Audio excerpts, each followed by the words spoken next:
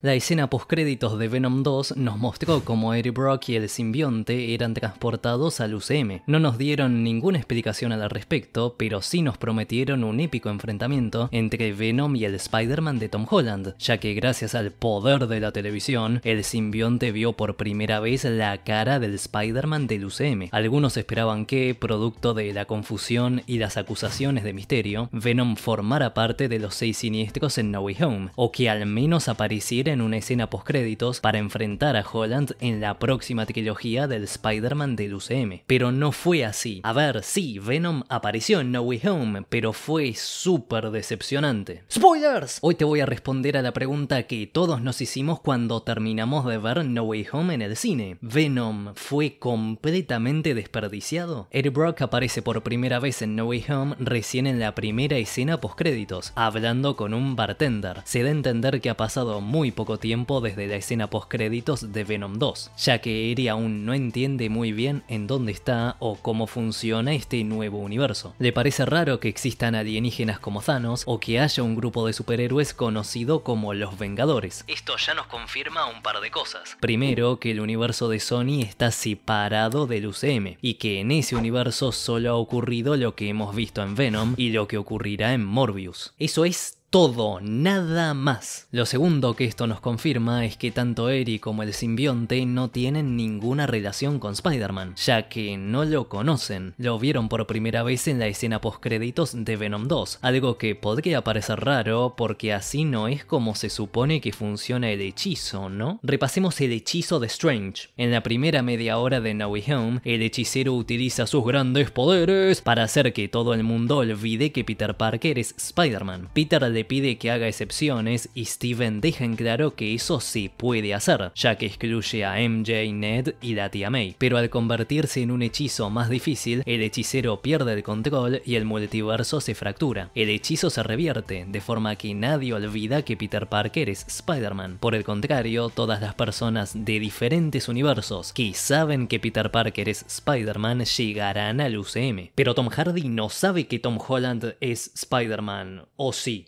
Venom 2 nos sugiere que la mentalidad de colmena de los simbiontes les permite comunicarse a través de diferentes universos, lo cual explicaría que el simbionte, no así Eri, supiera que Peter era Spider-Man, aunque conociera al Peter Parker de otro universo. Podemos asumir que el simbionte que sabe esto es el de Spider-Man 3, u otro simbionte al que aún no hemos conocido en el cine. Recordá que todo es posible en el multiverso. Lo segundo que puede hacernos ruido es que Venom es transportado al UCM antes de que Strange realice el hechizo. Venom 2 nos dio esa impresión, porque Venom ve que Holland ha sido desenmascarado en vivo y en directo, antes del hechizo, pero no tenemos forma de verificar si eso está pasando en tiempo real. Puede que Mysterio haya revelado la identidad de Spider-Man hace días, y que la noticia siga estando en los medios justo cuando Venom se transporta al UCM, justo cuando ocurre el hechizo. J.J. Jameson sigue hablando de Spider-Man hasta que muere la tía May e incluso después de su muerte, así que no lo considero un agujero de guion. El problema es lo que se hace con Venom. Venom 2 elevó el hype, prometiéndonos que Tom Hardy y Tom Holland se verían las caras en una futura película. El director de Venom 2 aseguró que ambos personajes se cruzarían en el futuro cercano, y todo parecía indicar que la cuarta película del Spider-Man del UCM o la tercera película del Venom de Sony adaptarían Venomverse, tomándose muchas libertades, o que al menos veríamos a estos dos personajes pelear por un rato. Pero parece que eso no va a pasar. En la escena postcréditos de No Way Home, Eri dice que debe ir a buscar a Spider-Man para encontrar respuestas, pero entonces el segundo hechizo de Strange hace efecto. El hechizo que haría que todos olvidaran a Peter Parker, devolviendo así a todos los visitantes de vuelta a sus universos. Eri y el simbionte desaparecen del UCM y asumimos que han regresado al universo de Sony. Nunca antes en el cine había escuchado a una audiencia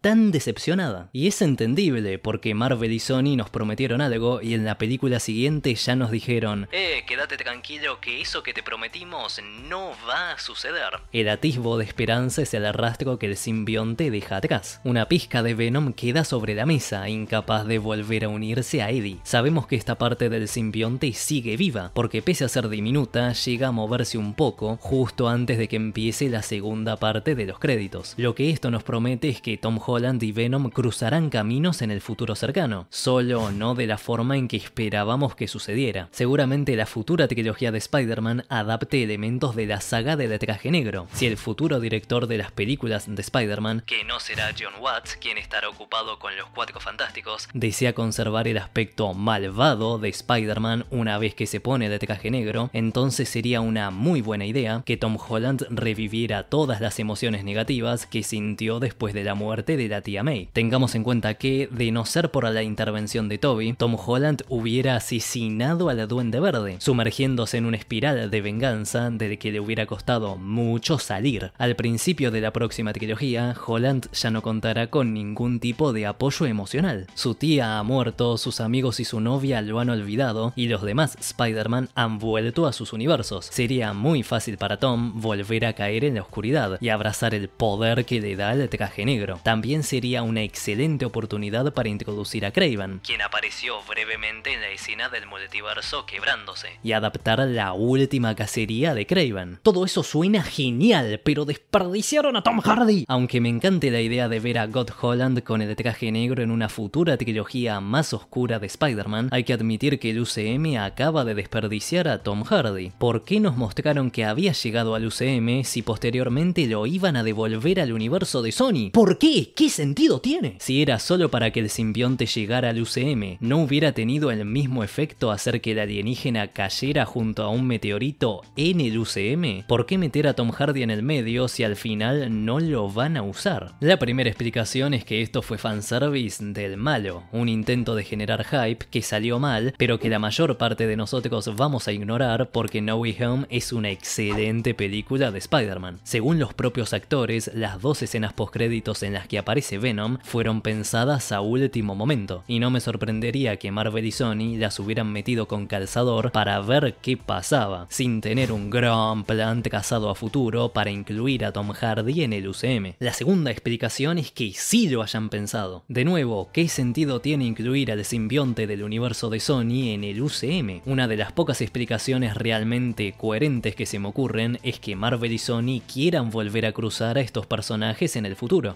Holland seguramente vaya a usar el traje negro, pero no sería igual que en Spider-Man 3. En este caso el simbionte debería tener los recuerdos de su huésped anterior, sabiendo así todo lo que sucedió en el universo de Sony. De esa forma, Holland sabría que existe un universo en el que están Venom y Morbius, un universo en el que no existe Spider-Man. Eso abriría la puerta a un futuro cruce en el que sería Holland quien viajaría al universo de Sony, probablemente para enfrentar a Venom o aún mejor, a los seis siniestros que Sony tiene tantas ganas de mostrar en la gran pantalla. Se quedaron con la espina clavada de los seis siniestros desde The Amazing Spider-Man 2. Claro que esto sería un plan muy a futuro, porque la próxima trilogía del Spider-Man de Holland aún no tiene fecha, a menos, claro, que Sony quiera incluir a Holland en la tercera película de Venom, realizando ahí el cruce. Sea como sea, no me cabe ninguna duda de que de momento, Venom ha sido desperdiciado en el UCM, pero no hay que perder la esperanza. La evolución del personaje de Holland y cómo Marvel y Sony trajeron de vuelta a los personajes de sagas anteriores sin faltarles el respeto me hizo ver que estos dos estudios son completamente capaces de darle a los fans lo que quieren, sin por eso sacrificar la calidad de sus productos. Pueden hacer las cosas bien. Si John Watts pudo hacer una de las mejores películas de superhéroes de toda la historia, entonces el UCM puede aprovechar a Venom en el futuro cercano. O al menos eso espero, porque a mí me dejaron una buena espina clavada después de devolver a Tom Hardy al universo de Sony. Déjame en comentarios qué pensás sobre este giro para nada anticlimático y si querés saber más sobre el Spider-Verse confirmado, te recomiendo ver este video,